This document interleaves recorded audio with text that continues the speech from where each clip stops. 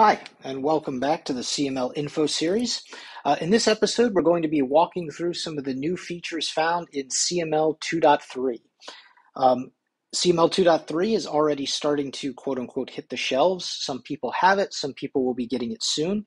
If you tuned into my last video on data migration, uh, you may recall that one of the big changes that we have in CML 2.3 is we move from CentOS 8 as the backing uh, Linux operating system uh, to Ubuntu uh, 2004 while that in and of itself is not a new feature, uh, you'll see in a little bit that it does bring a new feature with it or a, a, an oft requested feature with it. We'll, we'll talk about that. Uh, but back to CML 2.3, this is the uh, login screen for it. Other than the different version number, there's not much that has changed between this and CML 2.2. Uh, when we log in, we see the, the labs that we, we have. Nothing really has changed there. Uh, but when we drill into a lab, we'll notice, or you should notice, that the topology um, uh, the topology UI has kind of changed. We've switched out the uh, toolkit, excuse me, that we're using for the canvas. So the things where you draw or, or drag and drop your interconnected nodes, uh, we've um, delete this real quick to show you something. Uh, we've changed this out. So the mechanics and the physics still kind of work the same uh, where links you can drag and drop things links expand and contract. They're labeling uh, on the uh, on the nodes except for the uh, unmanaged switches where we don't include the port uh, names there. That part is the same. But the reason we changed this uh, layout uh, engine, this toolkit, is this will allow us, we went with an, an open source uh, toolkit, and that will allow us to extend it and enhance it to add things like uh, annotations and drawing shapes uh, on the topology map in future releases. So that's, this sets a, a very nice stage for that. Uh, there are some things that behave a little bit differently in here. So let me add that IOSv node back and I'll show you this. In uh, prior versions of CML2, when you wanted to interconnect a, a, node from the, the topology, you would click and hold on that blue icon and drag over to the node you want and, um, and, and, make the connection. Things are slightly different in CML2.3. Uh, here you click on the blue icon, the link icon, and you don't have to hold the mouse button down. Instead, all of the nodes that you can link to will turn blue and then you drag just just the mouse without the button held down drag to your target and click and then that will allow you to complete the link so you can see that I've now uh, completed that link here to um, uh, to my IOSv node. Let me delete that again. One of the other new features you'll see on the topology map is the ability to hide nodes. So let's say I didn't want to show this unmanaged switch here. I can double click this node and you can see that it goes kind of uh, translucent. It, it, it, it and its links go translucent. And so what we can see here is that once that happens, the node itself remains translucent. So when I, uh, when I no longer click it, the links go away. The node itself no longer uh, is, is solid. The links are no longer seen. Um, and this is great if I have like a lot of this case it was only three nodes but let's say i had a lot of nodes uh, linking back to this unmanaged switch that i'm using for like out of band management. Uh, and it's kind of creating some spaghetti on my topology map that i want to clean up. Well i can double click that node uh, and then the links disappear. They're still there but i just don't have to see them. Uh, and the node itself remains this kind of shadow or translucent and if i need to bring it back I can click on it and I'll see the translucent links remain. And then I double click and then it comes back as a non-hidden node. It comes back as just a regular node. So that's a nice way. And I, it's not just for unmanaged switches either. If I didn't want XCons, I could do the same thing up there, remove those links. Uh, if I wanted to remove this node, so on and so forth. It's not just one node and it's not just one type of node that I can hide. And again, it's just a double click on the nodes I want to hide or unhide in order to achieve that. So that's the topology UI in a nutshell. Let's talk about that feature that we got back uh, or got with CentOS, uh, with, with the uh, CentOS to Ubuntu migration. I've created a lab here, simple lab, which is two interconnected devices. Uh, one device is an IOSv L2 switch, and the other device is the new Catalyst 8000V router. Uh, the Catalyst 8000V is a node type we're now shipping uh, by default on your RefPlat ISO as of CML 2.3. even though it's got Catalyst in the name, this is a router. You can think of this like the modern version of the CSR 1000V. This router runs IOS XE. Let's take a look at how I've configured the uh, IOSv L2 node here. So I'm going to do a show run on interface gigabit ethernet 00, and you can see that I've got this configured for .1q trunking. Some of you might already be know uh, already know where I'm going with this. I've also configured two non-default VLANs. I have VLAN uh, 100 and 200 on here. And if I do a show run on the VLAN 100 SVI, you can see that I've got an IP address. Show IP brief, see the same thing. I've got VLAN 100 is up up, and my gigabit Ethernet 00 is up up. Now over on the Catalyst 8000V side,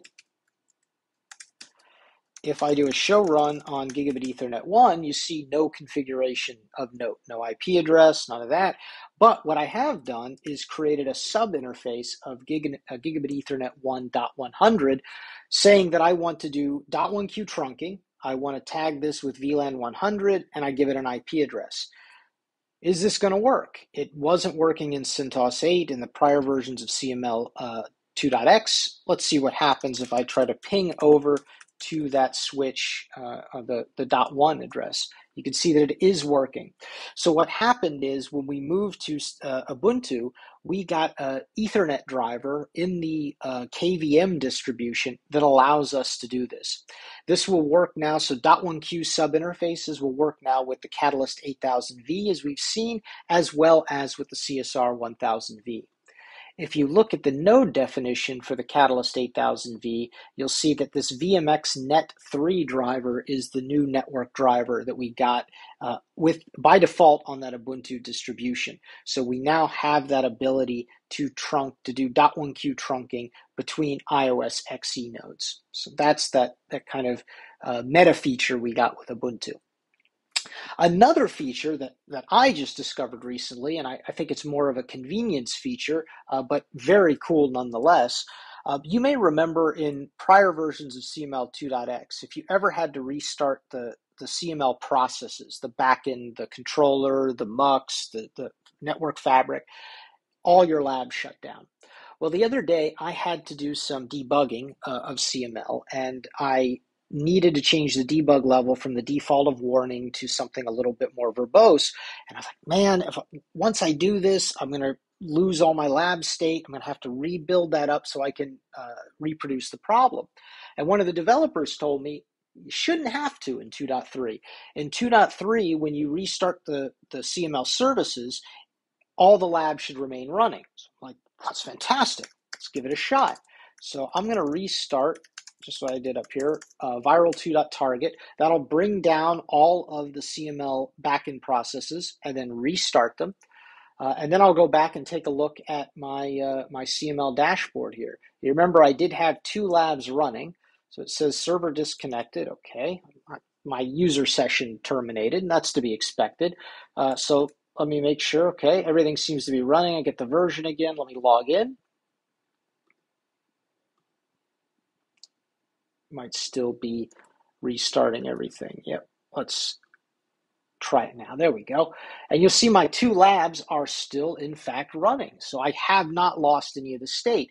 But let's see if they're actually running. Yeah, green, we can show green for anything. So I'll click back on the console here, click open console, and you can see not only is it running, it's preserved the last place I left off in the console state. So everything is still functioning the way I expect.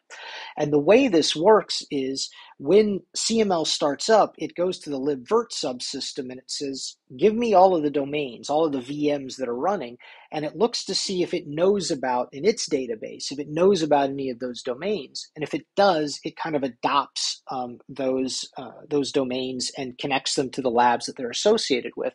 And so you don't lose any of that that state. Now, if you reboot the CML server, the actual host, then yes, you're, you're going to lose your labs, obviously. But if you just have to restart the processes because something's not behaving correctly, uh, you won't have to necessarily restart the labs. And that can be a great time saver. And I certainly appreciate that feature. And it's one of the things, in addition to these more user facing features, one of the things that was very nice about the changes that went into 2.3. There was a lot of attention paid to stabilizing the backend, to moving things into more of a database driven um, uh, persistence so that we can do some of these types of things and have more. Um, have more of a, a, of a stable state layer with the CML processes itself. The last feature I want to look at is something that is only going to be available to CML enterprise and education customers. Um, so if you're a CML personal or personal plus user, uh, this isn't going to apply to you. Uh, but for those who are using enterprise or education, this is something that's been asked for a lot and, and really helps in those large multi-user environments. And that is LDAP authentication and authorization support. So now in CML 2.3, if you're enterprise or education, you can choose whether or not to do local based authentication and authorization like was supported before, or LDAP authentication or authorization. LDAP can be backed by something like an open LDAP server, or in this example, Microsoft Active Directory. So it's just generic LDAP, and you kind of define how you want to interact with that schema. So I've specified my LDAP server here my root DN and the, the search base that I want to use. And then I have this user filter and admin filter. Now, the, the syntax is, is kind of daunting if you're not familiar with how to do LDAP queries or, or that syntax. It, it, it, can be a little unnerving. Um, but what these two filters let you do is decide what users from your LDAP database are authorized to use CML and what users from your LDAP database are authorized to be CML admins. Now, the specific syntax I've cooked up here says I'm going to look at either the SAM account name or the user principal name. And if that is equal to, and that's what these uh, curly brace zero mean, if that's equal to the user that's typed their username, this is the user logging in, uh, and they're a member of this group in Active Directory, then they're going to be allowed as uh, CML users. Same type of thing. If the user logging in is a member of CML admin group in LDAP or Active Directory in this case, uh, then that user is allowed to be an admin. Uh, finally, I'll specify this is Active Directory, so I'm going to use NTLM. I'll specify my uh, uh, distinguished name for the, uh, the administrative user that binds to, to, to validate all of this, binds to um, the uh, LDAP uh, database, uh, then some additional parameters, and then I'm able to do things like log in as Jay Clark using my LDAP credentials. So I come back to here, log in. Now I'm being not only authenticated to LDAP, I'm also being authorized by my group membership uh, in the LDAP database. Those are the uh, major or, or interesting, I should say, new features of CML 2.3. Um, so I hope you're enjoying uh, or looking forward to. If you don't have it yet, you're looking forward to getting CML 2.3. And if you're already using it, uh, you're enjoying these features. This uh, what we've done here has set a stage for future releases. We're working very hard on coming up with a clustering solution for CML to provide that horizontal scalability that the enterprise and education customers are going to need. Uh, and having uh, uh, Ubuntu there, having the uh, the additional uh, backend work with the database, uh, having the new topology toolkit, all of these things are going to go to making a much more extensible, much more powerful product, and you're going to see a lot more great releases from us in the near future. Thanks.